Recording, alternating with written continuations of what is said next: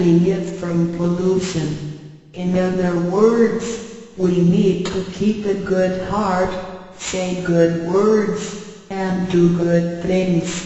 We need to do all good deeds continuously with all our efforts.